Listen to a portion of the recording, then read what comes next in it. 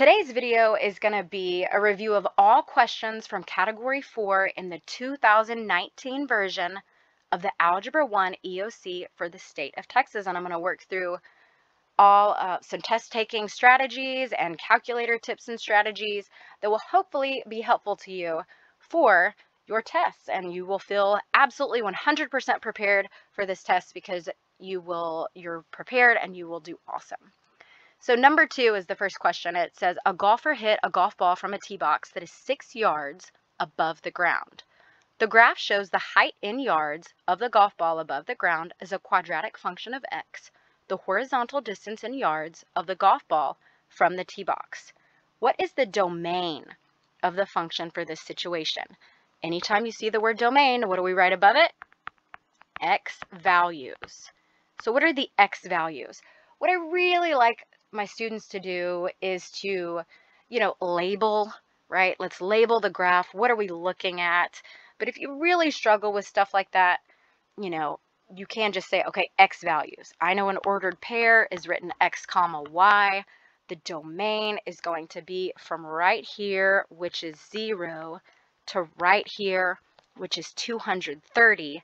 x is everything in between. Okay, so lowest point is 0, highest point is 230. X is everything in between, okay? If it's everything in between, arrows point that way, and I have a less than or equal to sign. So which one is the same as what I just wrote? It's F. So that's the domain for this situation, right? And this is a great example of we have a functional domain for quadratic functions that's always all real numbers. And then a situational domain, which we can say in this situation, we got a we've got a golf ball that's hit right and it's hit 230 yards okay? We start at zero yards it's hit 230 yards and that's because if you really wanted to label this represents distance and this represents height in this situation. So let's move on to problem number 12 the graph of quadratic parent function f okay which what's the parent function? All right it's just y well f right? So we've got f of x equals x squared was transformed to create the graph of g of x, which is f of x plus 2 minus 5. Which graph represents g? So if you know your transformations, then you know inside the parentheses, all right, that's going to move left 2, right? Outside the parentheses, minus 5 means we're going to move down 5. So you might be able to tell which one shows that. But again, anytime you have something, right, you could always um, you could always, well, uh, should you, graph? yeah, you can graph it, but it would look something like this. g of x, this would be y equals, okay, and you can't do f of x plus 2, right? You can't graph that, but it would be x plus 2 squared minus 5, okay? So left 2 down 5 is right here. We're taking that vertex, right, because it looks like this, right? Oh, it kind of looks like that. I'm drawing a really rough sketch, but left two, down five. Vertex right there. And my answer is H. Let's move on to the next problem. Number 14. What is the positive solution to this equation? So what you can do is you can set it equal to zero. How do I do that? I subtract 135 from both sides, and now what I get is 4x squared plus 12x minus 135. I can graph that to be y equals. Okay, so set it equal to zero, move everything to one side, graph it. Where does it cross my x-axis? Find those solutions. You're looking for the positive one. Okay, so your test taking strategy is to set it equal to zero, graph it, find the point of intersection on the x-axis, and you're looking for the positive solution. And that answer is 4.5. If you need to pause the video and try to do that now, I would. And then big thing is being able to plug it in on your calculator. I'm sorry, plug it in on your calculator. What am I doing? I'm not doing that right now. I am going to uh, put it into the grid, right? So the first thing you're going to do is you can specify positive or negative. If it's positive, do you have to write a positive? No, but can you? Sure. But what I have my students do is just 4.5 and then graph bubble in a 4. Don't forget to bubble in your decimal and then bubble in the 5. Let's move on to number 19. Number 19 says a company collected data for the number of text messages sent and received using a text message application since October 2011. The table shows the number of text messages sent and received in billions over time. The data can be modeled by a quadratic function. Which function best models the data? So when it best models the data, it may not always be perfect, okay? But it typically is on these type of problems. So go through your answer choices, right? Anytime you have a, a, function, right, it's just fancy schmancy for y, you can plug it into y equals, look at your table of values, which one matches, right? But it's in billions, just remember that. So go through your answer choices and look at the table to see which equation matches the best. And if you want, you can do that now because I'm about to give you the answer. Your answer is B. When you plug in y equals 0.072 t squared minus 0.5t plus 2.73, these ordered pairs, right? Each of these is an ordered pair, is in your table. Let's move on to number 21. Number 21, which graph best represents y equals negative x squared plus 6x minus 1? Again, you're given an equation in your problem. Awesome. Test taking strategy. Where do we start? Graph it on your calculator. Be sure to look at your table to make sure points match, right? So my answer is A, but what I really want you to do is make sure, for example, 3, 8 is a point on your graph, okay? If there's another point that you can see, like right here, 5, 4, needs to be a point in your table when on your calculator. Okay, just make sure because sometimes they're very, very similar, right? So for example, if you look at D, it kind of looks, it kind of looks the same, but like 310 is not a point that's in the table of values if you were to graph y equals negative x squared plus 6x minus 1 on your calculator. Now, for those of you who like remember some of the rules for quadratics, this negative out in front tells me it's going to open up or down. It's going to open down, right? It's going to look like that, which means I can eliminate C and I can eliminate B. So if you can eliminate answer choices, that is a really good um, strategy to do whenever you're working through a test like this. Number 28, the graph of a quadratic function is shown on the grid. Which function is best represented by this graph? I love these problems because now you're given all of these equations, okay?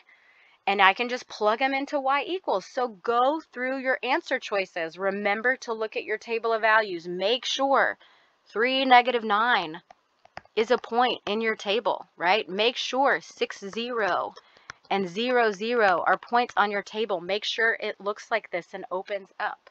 And your answer is, if you want to pause the video and do that now, I would suggest doing that because I'm about to give you the answer and it's H. Let's move on to problem number 33. Number 33. The graph of f of x equals x squared was transformed to create the graph of g of x equals f of x minus 9. Which statement about the graphs is true? So if you've already watched the video over the previous 2017-2018 versions, you might already know what to do on this one. But if f of x equals x squared, right? f of x equals x squared. Anywhere I see f of x, I can replace it with what? x squared. So in g of x, I can replace f of x with x squared. So if I do that, then g of x equals, I'm going to replace f of x with x squared, minus 9. Which statement about the graphs is true?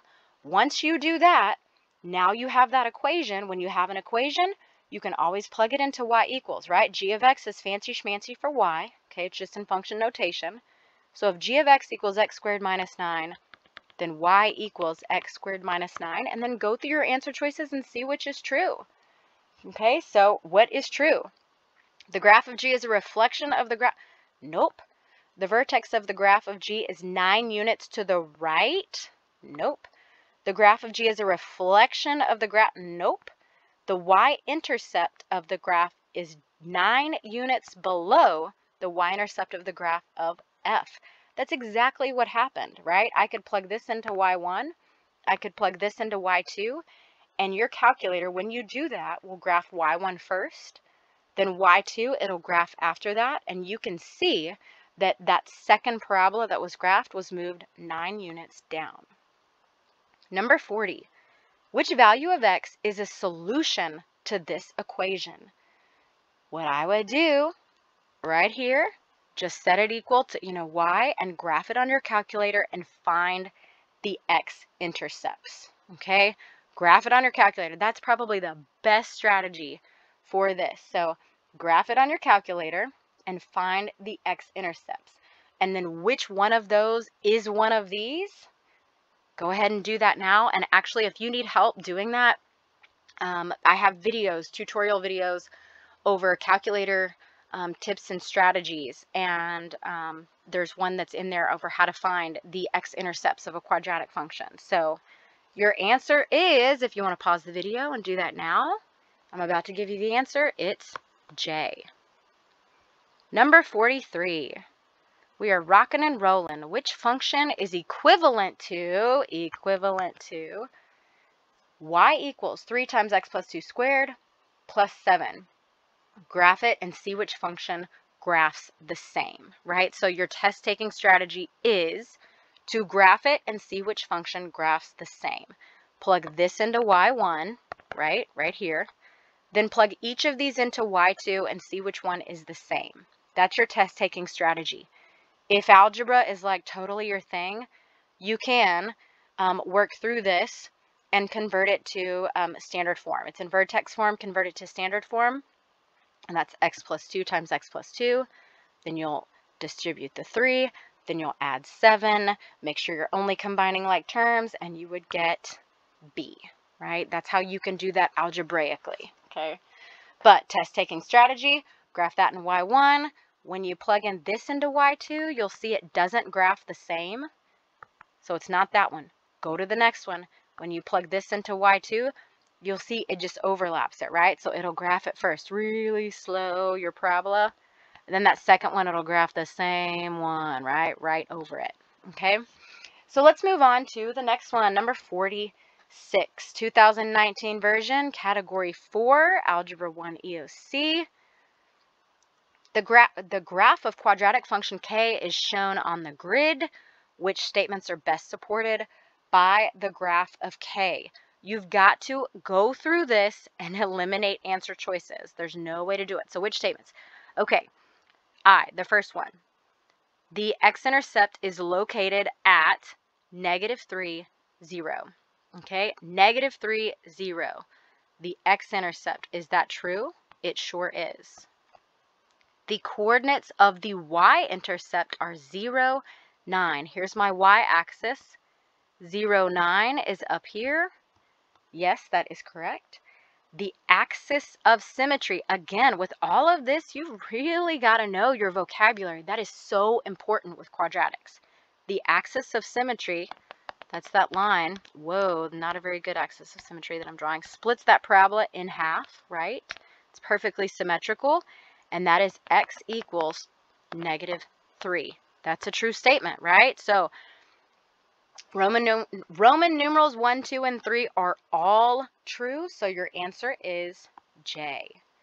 Let's move on to number 50 from the 2019 version. What are the domain and range of this quadratic function? Okay, domain, x values, range, y values. Okay, can we eliminate any answer choices? This was a good, good strategy. Can we eliminate any answer choices? Sure.